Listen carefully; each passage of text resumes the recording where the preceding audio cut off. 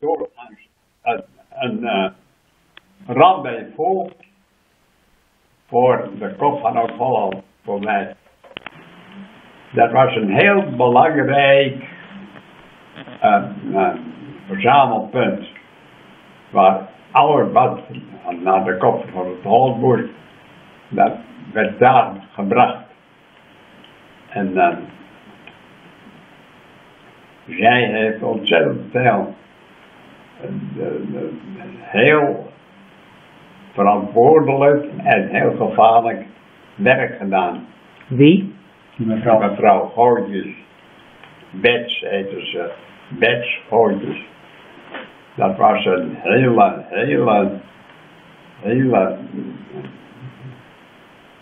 ja, pintere vrouw die uh, heel veel betekend heeft voor uh, de illegaliteit daar. In Herugewaard. Maar zij waren, Ja? haar man was tuinder, hadden een tuinbedrijf. Ja, tuin en, en, en kwekerij. En, en uh, allerlei, uh, maar in de crisistijd hebben ze het vreselijk slecht gehad. En alle tuinders eigenlijk wel. Heel slecht. Dus zij uh, hadden een vaste plan om te emigreren naar Canada. En dat hebben ze zo gauw mogelijk na de bevrijding hebben ze dat gerealiseerd. En uh, zij zou mij, uh, zodra ze een adres hadden, zou zij me dat toesturen. Maar dat heb ik nooit gehad. Ik heb later het verhaal gehoord. Zij uh, hebben het vreselijk slecht gehad in Canada. Zij had wel terug willen kruipen, bij wijze van spreken. Dat was een hele grote teleurstelling, maar ja, geld om terug te gaan, dat hadden ze niet. Ze hadden een bedrijf verkocht en dat geld dat hadden ze allemaal nodig gehad voor de heenreis en voor een, om je daar ergens in de, en uh, dus uh, toen is er nog een dement geworden. Dement. Ja, dat is een vreselijk, vreselijk uh, verhaal eigenlijk. Uh. Zo teleursteld. Ja. Dat was die mevrouw Gootjes waar je dus uh, ondergedoken was. Daar heeft hij niet ondergedoken gezeten. Nee? Nee. Maar hoe, ik hoorde die mevrouw Gootjes al eerder, die naam, in wat, wat, welk verband? Nou, pa vertelde dat... Rie, Rie was daar. Wie, je, Oh, moeder, ja. je moeder was. Rie was daar in Ja, huis ja. en die sliep daar ook, hè. Ja. Dat was het vaste adres. En, en Rie die heeft vanuit dat adres wel couriersdiensten verricht. Oh, dus Ma zat toch ook in het verzet dan? Vanuit Gooitjes. Ma deed dus ook verzetswerk. Ja, Ja. ja, Als koerierster. ja, Ja. ja. Dus Ma, wa- maar wat ik nog even niet begrijp is, Ma woonde dus toen niet bij de vader en moeder. Ja, Niet.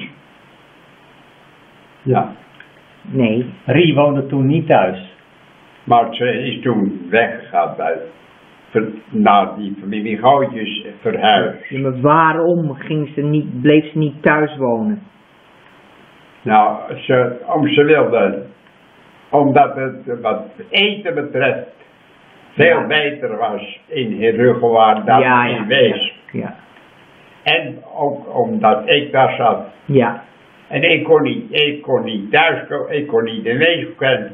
Nee, nee. Dus, eh, en eh, nou, die mevrouw Gootjes, Bets Gootjes, die zei, nou, dan kom je toch bij mij. In de huishouden zijn acht kinderen. Ja, ja. Hadden acht kinderen, dus eh, ze wisten wel wat ze te doen hadden. Ja. Ja. Hoe ben je nou aan de tegel gekomen, Bouw? En de tegel, Ja, hoe heb je die gekregen? nou, er was dus een, eh, in de zomer van, van 1945 hebben we een, reunie gehad van de illegale werkers uit de kop van Noord-Holland.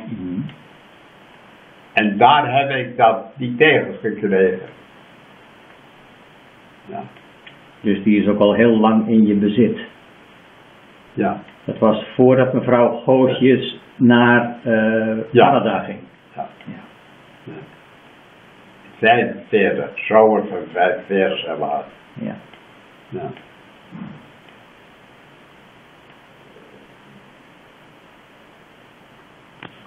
Een heel verhaal. Ja. Ja.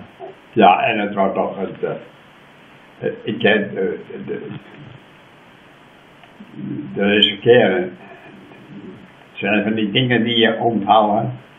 Rie heeft een geweldig risico gelopen op een gegeven moment. Toen was er, dat was in het najaar van 1945. Nee, Vier. 44. Ja. Van 44. En najaar, najaar van 1944. Toen zat ik, eh, toen, toen was de BS, de BS was opgericht. Nou, opgericht. Was een bij elkaar geraapt zootje. Maar goed, er was een bepaalde leiding, een, een, lo- een, een, een plaatselijke delta, delta noemden ze dat. En er zat in een plaatselijke op een omgeving van Herugewaard een, een man van de ordendienst. Dat was een organisatie die van voor de oorlog stamde en die niks deed, die, zouden, die hadden als taak om na de bevrijding dan eh, regelend op te treden. Daar zat er één van in die zogenaamde plaatselijke delta. En er zat er één in van de Raad van Verzet. Dat was dus een communistische organisatie. En er zat iemand in van de LKP. En als er geen KP was, dan zat er eentje van de LO in. En dat was in het Heugelaat, was ik dat. Ik zat er voor de LO in. En we hadden een, een hoofdkwartier bij een boer aan de middenweg in uh, Herugewaard. Herugewaard moet je je indenken, dat is een heel lang gewerkt, lang gerekt uh, dorp langs hele, de middenweg.